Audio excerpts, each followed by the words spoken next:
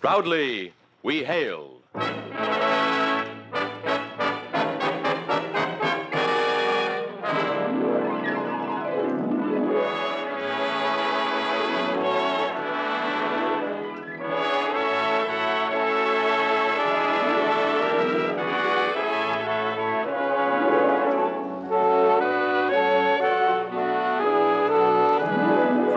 York City, where the American stage begins, here is another program with a cast of outstanding players. Public service time has been made available by this station for your Air Force to bring you this story as proudly we hail the United States Air Force.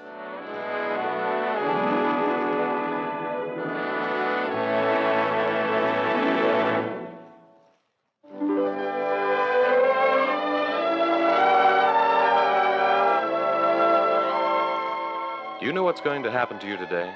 Something may occur in the very next minute that can change the entire course of your life. It happened that way to Kenny Clayton, but it took him three years before he realized what had hit him. You'll meet Kenny Clayton in a story about baseball and the Air Force titled It's All in the Arm in just a moment. But first, here's important news for all ex servicemen. You may be qualified to enlist in the United States Air Force at a higher grade and at higher pay than you realize. Yes, the United States Air Force has instituted a new policy that offers big new benefits to veterans of all the armed forces. The Air Force needs men who are experienced in critical skills required to keep America's air defense strong. If you have training in these skills, the Air Force wants you, and they'll put you right on the job. For full details, write or visit your nearest Air Force recruiter right away. Ask him for the folder for prior servicemen. You'll see how you can put your service gained skills to work to your best advantage. Remember, you've earned credits toward a fine retirement in the service. So protect your initial investment as an airman. Today and tomorrow, you're better off in the United States Air Force. And now we present the first act of the Proudly We Hail production It's All in the Arm.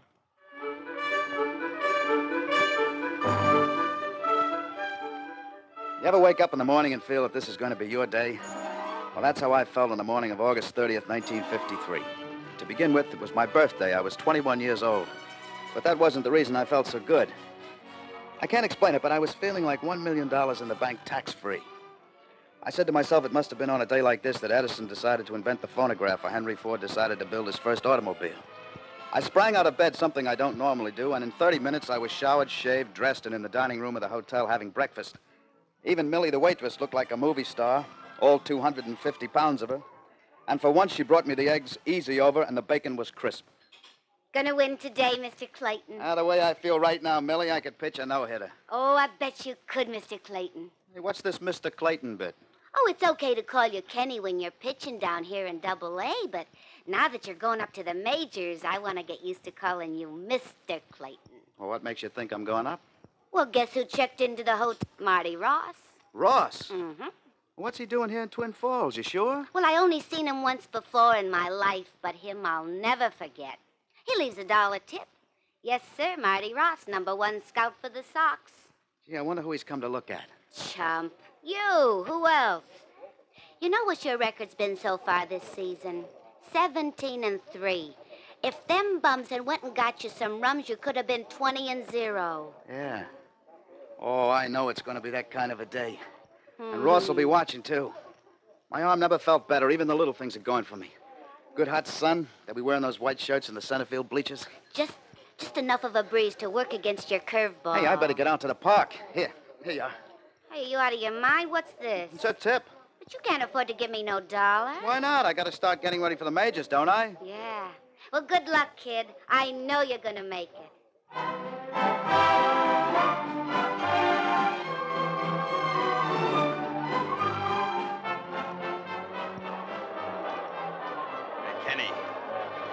Marty Ross will be sitting behind the dugout. He's here just to look at you. Yeah, Skipper, I heard. I was kind of hoping he'd come down in a day when we weren't playing the Eagles. Sure hate to start you against all them left-handed power hitters. Why, I can have them fanning the breeze, too. Keep the curveball low and away. huh? Anything you say, Skipper, yeah. Sure hope you got it today. Don't worry, Skip. Today I know I got it. Man, did I have it. They were beating the ball into the ground, or popping it up. That is, when they weren't missing it altogether. I kept watching Marty Ross in his seat behind the dugout. He must have been feeling just about as good as I was because he was leaning back, happy and relaxed, puffing away on his cigar. Then in the seventh, with us leading 1 nothing, we ran into trouble. The ump gave me a bad call on a 3 2 pitch, and I walked a man. Then Wilson couldn't find the handle on a perfect double play ball, and everybody was safe. And the next hitter had to pick just that spot to get lucky with a little broken bat single over the infield, so I had bases loaded, nobody out. I looked over at Ross. He was chewing nervously on that cigar now. And actually, I wasn't feeling too badly at all. I was sure Ross wanted to see if I could work out of a jam, too. And I did. I got a force play at the plate, a strikeout, and a pop up. Ross was blowing big, happy smoke rings now, and it was that way to the end of the game. Afterward, Ross came down to the locker room. Good game, son. Thank you, Mr. Ross. Uh, keep your bags packed. You'll be in the big town in less than a week. I got a hunch that curveball of yours is going to pitch the Sox all the way to the pennant. The Sox? Why not, son? You belong there. Oh, what a birthday present. August 30th. What a day this has been.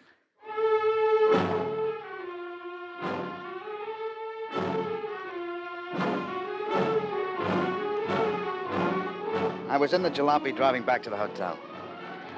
I was thinking of a big steak, a letter home to Mom, and maybe a movie. Was thinking about the Sox, the brand new world of the major leagues. I saw her. I saw the little girl out of the corner of my eye. She was up ahead, standing on the curb. I couldn't believe she was going to run out in front of my car to chase a ball. But she did. A woman on the sidewalk must have screamed. The little girl just stood in the middle of the road looking at me. She was scared stiff. She couldn't move. I jammed on the brakes, but I, I knew I could never stop in time. I twisted my wheel as hard as I could. I, I saw the telephone pole coming up at me. I knew I was going to pile up against it. Last thing I remember saying was, I'm, I'm glad I didn't hit that kid.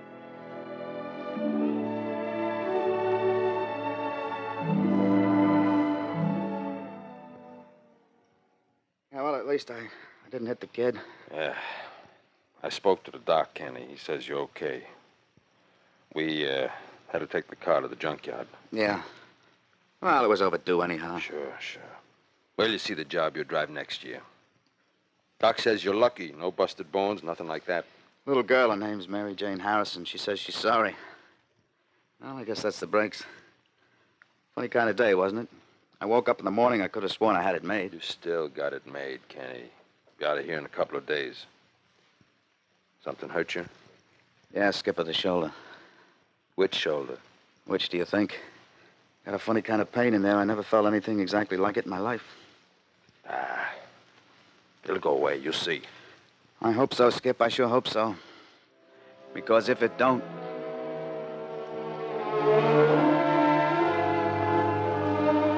Well, I didn't go to the Sox that year. I didn't even finish the season at Twin Falls. The pain kept staying inside the shoulder. I saw doctors, took treatments all winter. Nothing helped very much. Following year, I reported to Twin Falls for spring practice. From the very first day, I knew I didn't have it. Every time I tried the fastball, my arm felt dead, and when I tried to snap off the curve, I'd get the twinge in my shoulder. Some days would be better than others, but it was never really the way it used to be. I saw Mr. Ross sitting in the ballpark a few times that year, but he hadn't come down to look at me. Well, I think you've done wise to enlist, kid. Maybe if I get away from baseball long enough, you know, give the arm a rest. Sure, sure, sure. I'll keep in shape, though, Skipper. Sure you will. You think I can't make it back, huh? I never said nothing like that, Kenny. Well, you'll see. Kenny, my own boy's in the Air Force, you know. And it's, well, it's, it, it could be a good career. I mean, you could learn things there, like, like maybe a trade.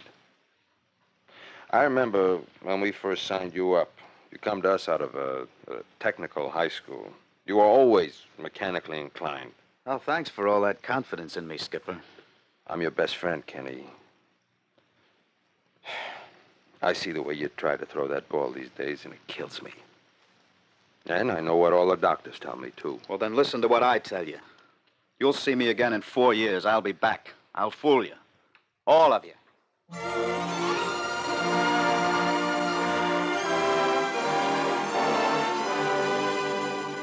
That decision to join the Air Force was the best thing that could have happened at the time.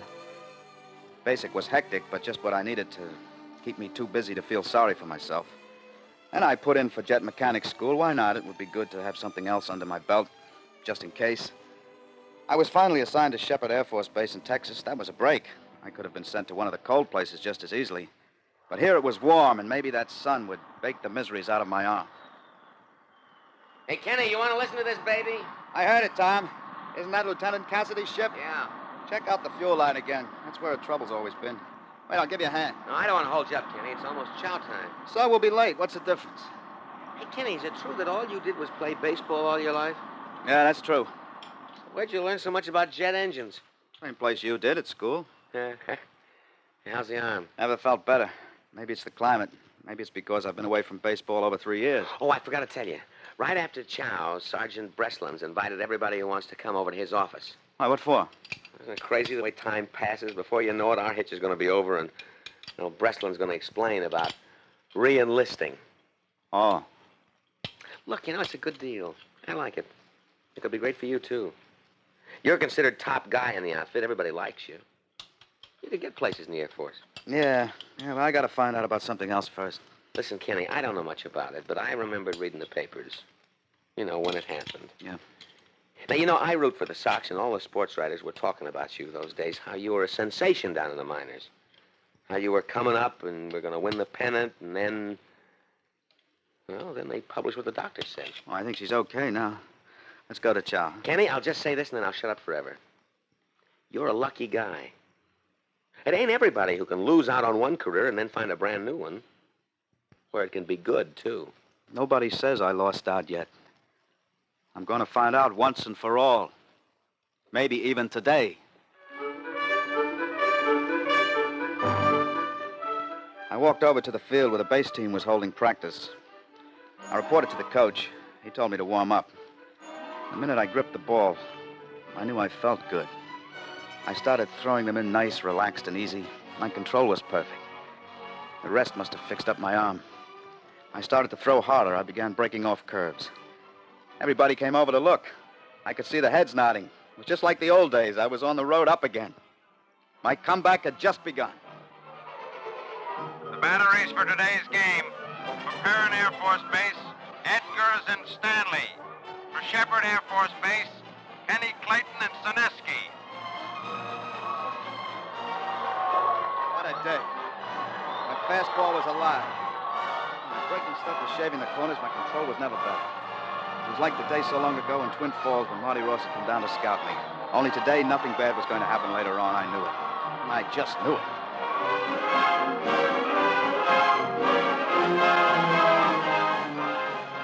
That night, I wrote a long letter to the skipper, and I went to bed early. I dreamed I was with the Sox playing against the Yankees. I had a no hitter going. And then suddenly, out of a clear blue sky, a, a pain shot through my arm. It was a terrible pain. As though somebody was holding it in a vice, and, and it, it was twisting. Twisting. Tom! Tom! Yeah, uh, Kenny, what's the matter? Tom, my arm. Feels like it's on fire, right? Right here, below the shoulder. Rub it, will you? Right there. Keep rubbing it. There, okay. Yeah, does it, does it feel any better? I Hope I can stand it till morning. Tom, what happened? What happened to my arm?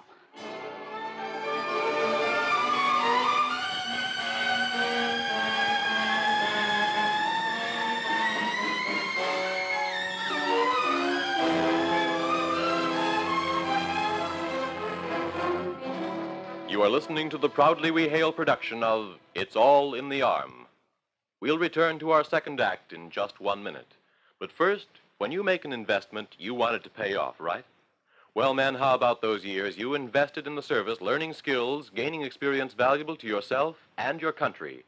You can make those years pay off in big dividends today by becoming a member of the United States Air Force. Yes, if you've been in any of the armed forces, you may be eligible to enlist in the Air Force in a grade that will be a pleasant surprise. You see, the Air Force needs men skilled in certain important fields, and you may be just such a man. If so, the Air Force offers you an opportunity to put your previous service experience to work and to collect on those credits you've earned toward comfortable retirement. Your Air Force recruiter has a folder full of details, so write or visit him right away. Ask for the prior serviceman's folder, and you'll know why today and tomorrow you're better off in the United States Air Force. And now for the second act of the proudly we hail production of It's All in the Arm.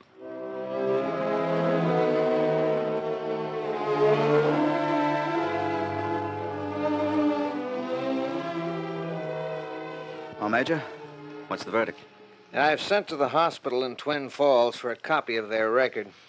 Their findings agree with ours. Translating it from high sounding medical terminology, you have muscle damage there. Apparently, it improves with rest, but severe use, such as throwing hard, keeps aggravating the condition. Then it flares up in no uncertain terms. Will it ever get completely better? I don't know, Clayton. It may, it may not. I wish you'd give it to me straight, Major. I don't think it will ever completely recover. Of course, that's only one man's opinion, but, well, let's find out. I'll put you on a course of physiotherapy. Now, take this slip and go down the corridor, turn left, and you'll see the sign on the door. Report to Sergeant Harrison. Thank you, sir. I think you're a lucky man, Clayton. Lucky. Why, sir? Ah, maybe I'll tell you someday. Or maybe I won't have to. You'll realize it for yourself.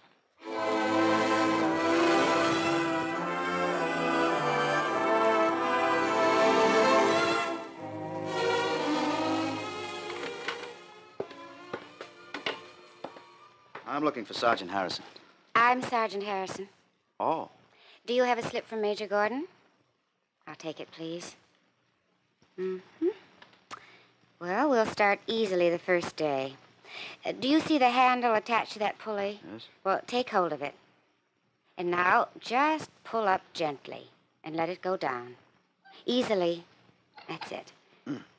Do you feel a twinge in your shoulder? and how? Try it again. Slower. You have a first name, Sergeant Harrison? It's Agnes. Well, mine's Kenny.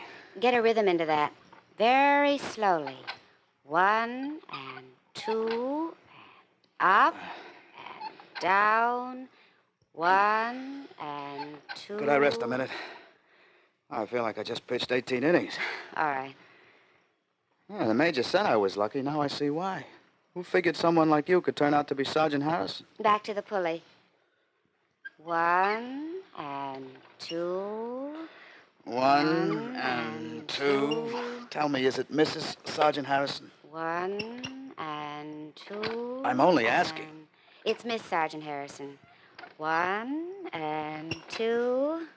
All right, that's enough. How does your arm feel? Rough.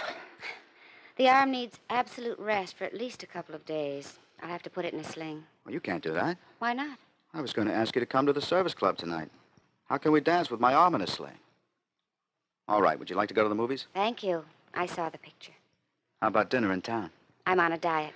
Well, if you're going to keep finding obstacles, we'll never get anywhere. Report back here tomorrow at the same time. We'll try some heat treatments.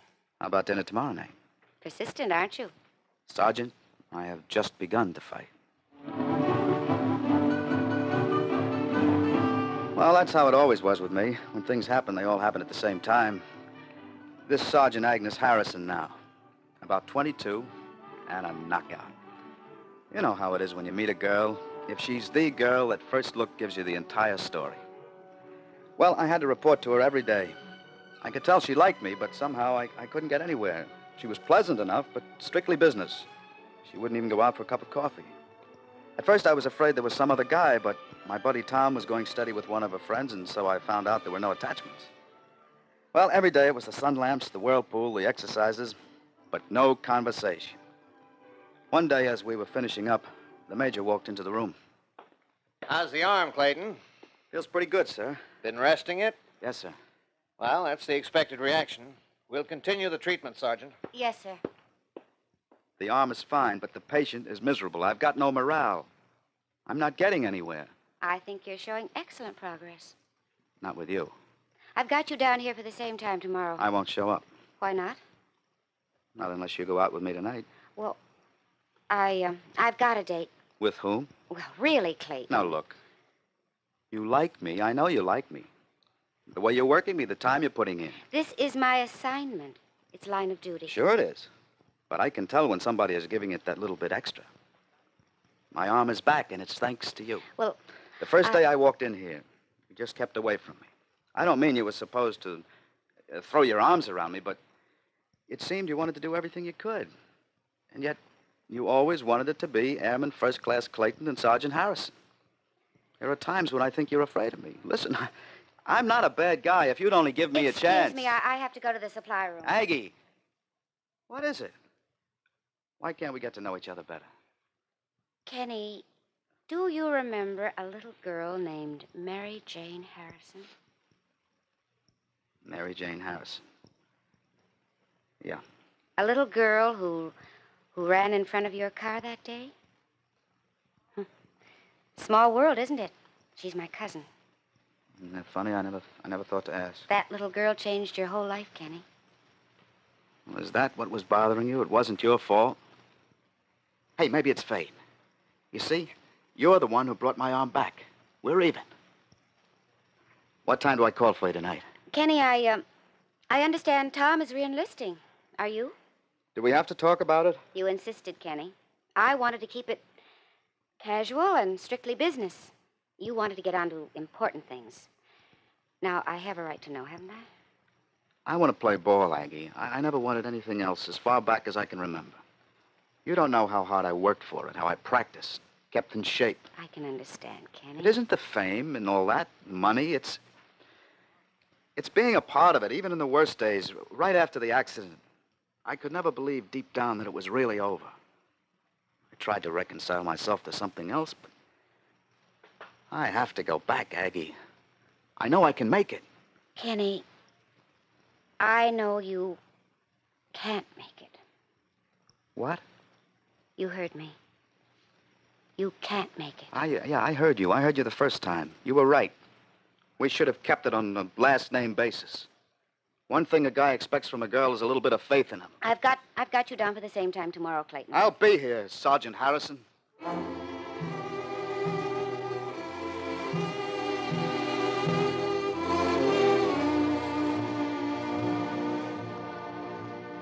How's Clayton doing, Sergeant Harrison? Nicely, sir.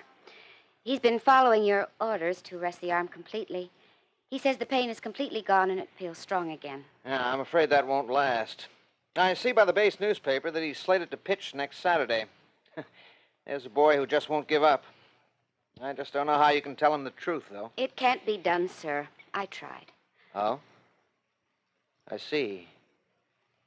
Well, I suppose he'll go through life trying to recapture an impossible dream. That's too bad. He could be very happy in the Air Force. He's got all the makings. Um, Major Hughes. Oh, have him come in. He's here for his final report. You want to stay? If you don't mind, sir. Well, how do you feel, Clayton? Great, sir. Well, I suppose you can find all kinds of pleasant things to tell yourself, Clayton. Unfortunately, I'm in a different business. I'm a doctor, and I've always told my patients the truth. Well, uh, what are you, what are you going to tell me? What every doctor has been telling you since the day of your accident. Your baseball career is over. The least strain on that arm will aggravate the old injury. Maybe you'll become used to the pain, but those muscles won't. It'll become worse and worse. And in time, your arm will be completely useless. You won't even be able to comb your hair. That's the truth. Well, now you're on your own. Excuse me, I have to make the round of the wards.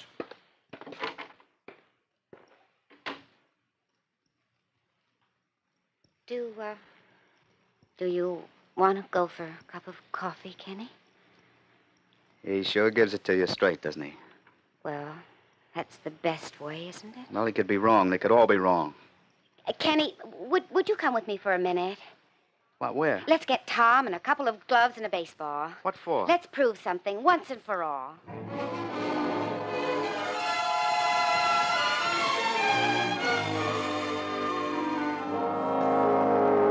Okay, Tom, that's good. That's about the distance from the pitcher's mound to the home plate, isn't it, Kenny? Yeah, but what do you... Uh, What do you... throw a few to Tom. Easy at first, then hard, with everything you've got. Go ahead, Kenny. Just do what I tell you. Okay.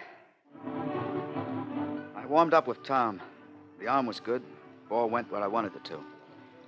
Aggie kept saying, Harder, Kenny. Throw harder. I did. The ball was alive. It smoked. Then I realized something. It wasn't that my arm felt good, it was just that it felt numb. Rest had silenced the pain. After a while, the numbness would go away and the pain would return. It would stay with me forever. Maybe I could hang on as a relief pitcher in the lowest minor leagues and knock around with the semi pros, but I'd be kidding myself. I kept looking at Tom as I threw the ball to him. He was a friend I had made in the last three years. I had 20 friends like him in the outfit. And I could hear Aggie's voice. Harder. Throw harder, Kenny. I met her here, too. Can't always be lucky enough to meet a girl who was so much for you that she'll tell you the truth, even if it means you're going to drop her. And what the medical major said that first day. You're a lucky man, Clayton? Sure, I'm lucky. I lose one career, I've got another. I can go places in this outfit. And I hated to admit it to myself, but I had been acting like a kid whose ice cream cone splattered on the sidewalk. I was crying about spilled milk. I said to myself, Kenny, you're 24 years old now. It's time you grew up. Harder, Kenny. Keep throwing. All right, let's call it a day. Hey, Tom, would you take the gloves and the ball back? Okay, I'll, I'll put them in your footlocker. No, turn them into special services. I won't be needing them anymore. Uh, sure. I'll, I'll see you at Chow tonight. Well, that depends. On what? Aggie, Mm-hmm. think we ought to go out to dinner tonight? I'll break my diet. Just this once. Well, sure, but we better hurry up and get married so you can cook anything you like. Kenneth Clayton, are you asking me? No, Sergeant, I'm telling you. For weeks now, you've been telling me off. And now that we're going to spend the next 20 or 30 years together in the Air Force, get used to spending half that time listening to me.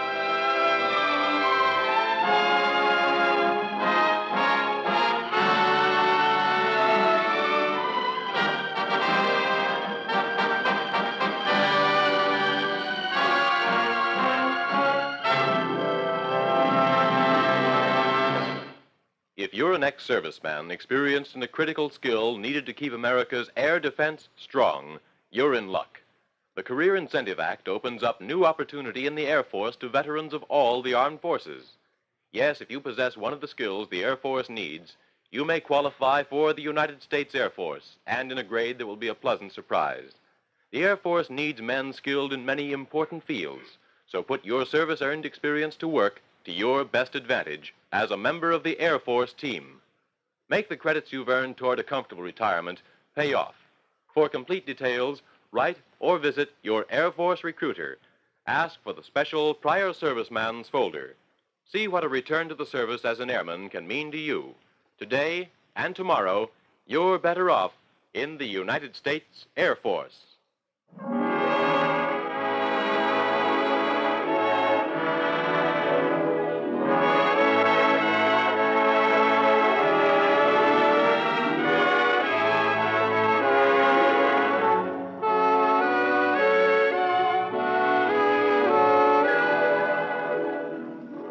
Has been another program on Proudly We Hail, presented transcribed in cooperation with this station.